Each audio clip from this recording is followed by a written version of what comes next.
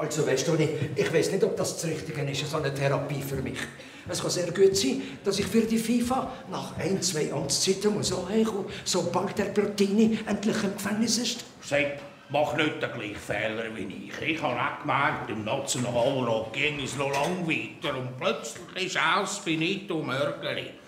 Von dieser Rentnertherapie habe ich nur Gutes gehört. Das ist eine Private, die es macht. Ah, Herr Bortoluzzi, Herr Platter, pünktlich, das ist schon einmal ein guter Anfang. Grüezi, Frau Filscher. Guten Tag. Nehmen Sie doch bitte Platz. Ja, also, äh, Frau Dr. Fülscher, ich bin eigentlich noch nicht wirklich äh, pensioniert. Quasi also noch zumindest im aktiven Berufsleben. Äh, bitte. Nein, nein, das ist noch nicht nötig. Sie können den am Schluss zahlen. Ah, das wäre nicht die Bezahlung. Das wäre nur so ein kleines Zeichen äh, für meine Wertschätzung für euch. Jetzt entspann dich doch mal, Sepp. Du bist schon wieder zweit im Arbeitsalltag. Arbeitsalltag. Das ist genau unser Thema von unserer ersten Sitzung.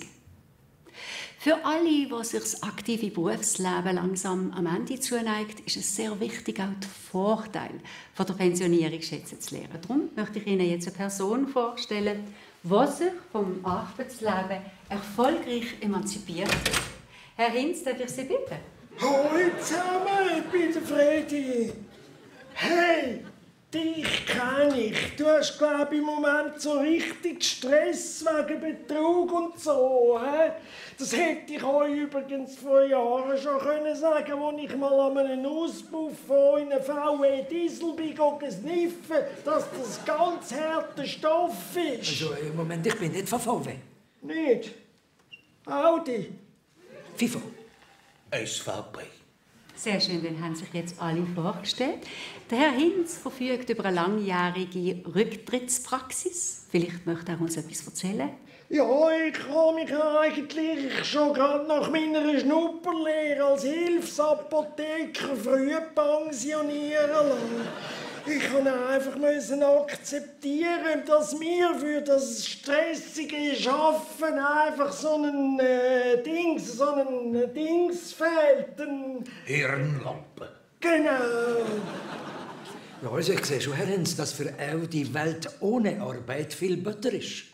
Aber äh, von mir aus muss ich sagen, mir wurden nur schon diese vielen internationalen Ehrungen und diese Staatsoberhäupter, die würde ich sehr vermissen, weil ich äh, doch immer sehr gerne von denen empfangen werde. Da kommt man drüber hinweg, Sepp.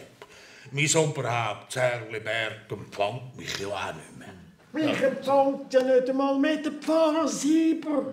Gut, da haben wir ja schon eine gemeinsame, schöne Erfahrung vom Loslassen, vom Abschalten. Und Das nützt meiner Meinung nach nichts, Frau Doktor. Ich sehe dem der Hinz doch an, dass er ein Cannabis-Opfer ist. Nein, das stimmt nicht. Ich bin ein Asbestopfer. Das ist im Fall von der SUMA bestätigt. Ich komme ja eine Entschädigung über, weil ich ja früher die Asbestplatte geraucht habe. Also, Entschuldigung, lassen Sie, ich muss leider gehen. Ich muss mich entschuldigen, weil ich darf nicht allzu lange am gleichen Ort verweilen, weil ich könnte eben von der amerikanischen Drohne geortet werden. Nicht für ungut, Frau Fäuser, Sie haben das für eine Frau gar nicht so schlecht gemacht. Aber ich bin noch nicht so weit. Vielleicht lasse ich mich als zweiter SVP-Bundesrat aufstellen, um die Fraktion ein bisschen ärgern. Du, Moment, hey, hast mir du nicht noch zwei Kuvert?